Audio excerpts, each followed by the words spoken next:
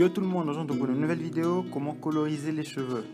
Donc on commence par switcher, parce que quand on fait les ombres de base, on descend dans notre roue chromatique. Donc je commence par, je choisis une couleur euh, plus, pas plus foncée, mais je descends en choisissant une couleur plus violacée. Et en mettant les calques en produit. J'utilise toujours des calques en produit pour la couleur ou les ombres. Donc je me concentre sur les extrémités plus les extrémités en mettant, en faisant plus de traits. Donc un semblant des mèches, je n'ai pas besoin de, de, faire tous les détails pour faire des mèches, juste des petits traits et tout. Et je ferai plein de petits traits qui vont plus ou moins se croiser au centre. Le centre, c'est l'endroit euh, l'endroit qui forme, je sais pas, une euh, espèce de, sphère. Donc c'est l'endroit où se concentrera la lumière. Et les endroits, les endroits plus en profondeur, comme le haut des cheveux et euh, les bas où, il y a tous les plis, toutes les intersections entre les cheveux. C'est les endroits où euh, je me concentre, je me concentre pour euh, les ombres, pour mettre les ombres, comme euh, l'arrière là qui est au second plan. Pareil pour les couettes. Donc plus, je suis vers les extrémités des mèches, plus je me concentre, concentre les détails là. Là j'avais perdu la couleur. Je concentre mes détails vers le bas et vers les extrémités en laissant un peu d'espace entre, entre les deux entre euh, la partie supérieure et la partie inférieure euh, des cheveux. Donc je pareil euh, de l'autre côté. Et vers les centres de cheveux, je me concentre en partant du point, du point central où partent les cheveux. C'est là où je vais concentrer plus des ombres. Et vers l'extrémité aussi. En faisant des petits traits qui relient les extrémités à la partie centrale. Ça, c'est des, lines brutes. Vous n'avez pas besoin de faire tous les, cheveux.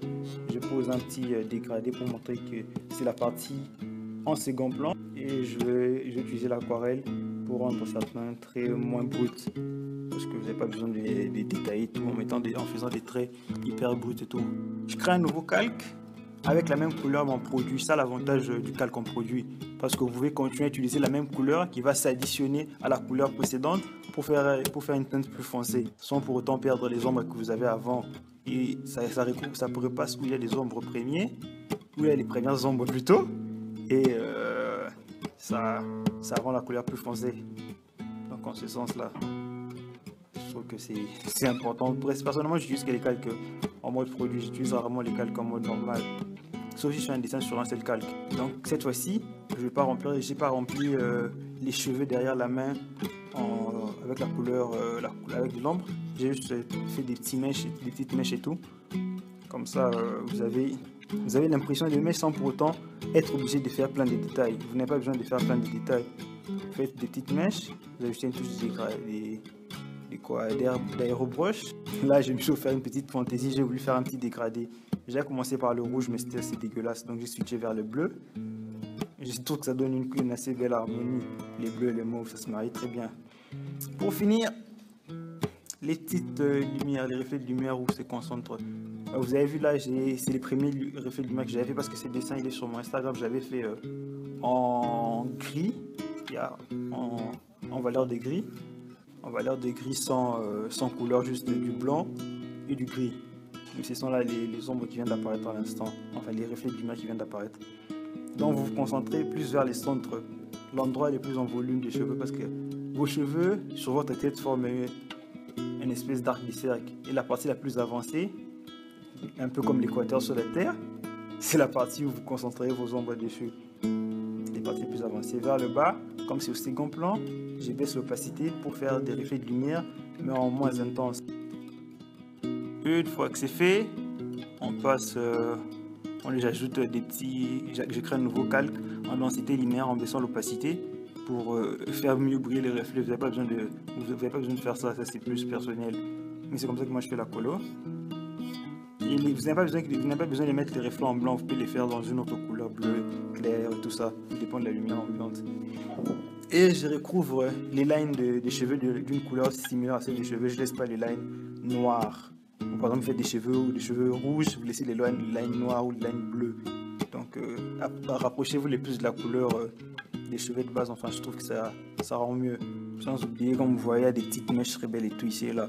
Ça donne une impression plus vivante. Donc voilà, partons sur le principe des cheveux. Je vais montrer par rapport à, des cheveux boots, juste une colo, ça ressemble à rien comme ça, mais vous allez voir comment vous pouvez leur donner un aspect de cheveux.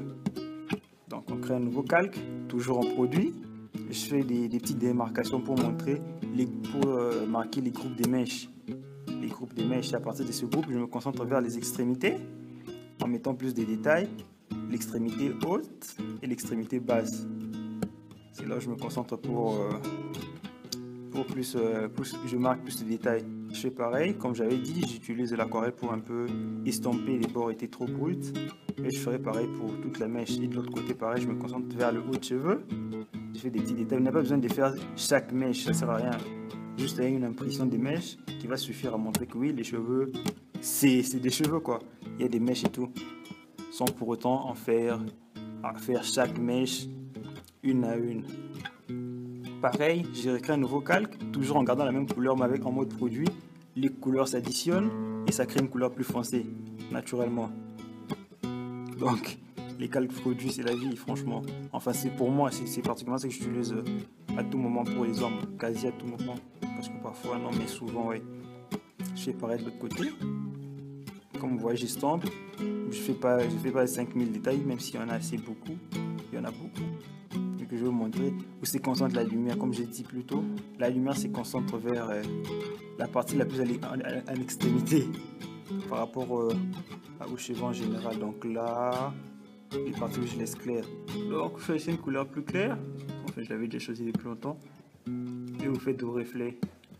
Des reflets aussi, comme si vous faites des mèches. Parce que c'est la mèche qui est illuminée, pas besoin de faire un gros très brut. Enfin, dans mon style d'écolo, bien sûr je, baisse l'opacité, je vais baisser l'opacité.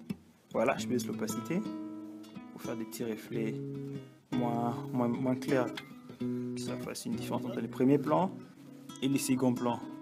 Une fois fait, je crée un nouveau calque en densité linéaire, je baisse l'opacité et je concentre les lumières et tout. Enfin, tout dépend de l'intensité de la source des lumières sur euh, votre dessin. Enfin, comment vous pensez si la personne est exposée au soleil ou tout ça. Donc là, on va passer en accéléré. En fait, c'était ça le modèle de base que je voulais faire euh, pour la colo. Donc un petit dégradé et tout. Comme ça, vous pouvez voir que la méthode que j'utilise, j'utilise quasiment sur tous mes dessins. Elle s'applique sur toutes les formes des... Elle marche, pas elle s'applique, mais elle marche surtout euh, sur toute forme des cheveux. Toute forme, toute coupe, toute couleur. C'est un peu pareil. Donc, deux couches de dégradé. deux couches d'ombre plutôt, d'ombre avec du dégradé. Et de la lumière petits reflets de lumière et tout, avec en créant plus en plus un nouveau calcul en densité linéaire pour accentuer les ombres et en changeant la couleur des cheveux. Et quelques mèches très belles ici et là. Un petit délire de ce côté, on va faire des cheveux lumineux en mode avatar, comment les lumières. Tout ce que j'avais besoin de créer un calque en intensité, en densité linéaire et faire de la lumière. N'oubliez pas que la lumière va se refléter sur tout le corps. Donc ça doit avoir une influence. Voilà, voilà. Sur ce, on se dit à plus pour les nouvelles vidéos. Ciao, ciao